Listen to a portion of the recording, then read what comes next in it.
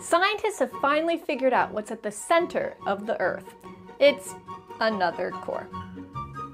Back in my day, there were only four layers of Earth the crust, mantle, liquid outer core, and solid inner core.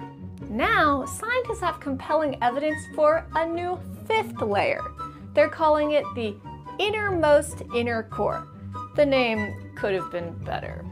The new layer consists of an iron nickel alloy like other parts of the core, but the elements are arranged differently to give a distinct crystal structure, which makes this part of the core behave differently. Think of it like you and your sibling, pretty much the same chemical makeup, but how can they stand mayonnaise? Scientists discovered this by measuring shock waves from earthquakes as they passed from one side of the earth to another. Yeah, that's a thing we can do.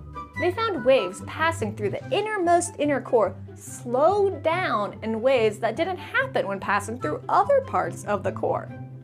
This unique layer could help scientists understand the evolution of Earth's magnetic field, which protects us from harmful radiation in space and helps make life possible on our home planet.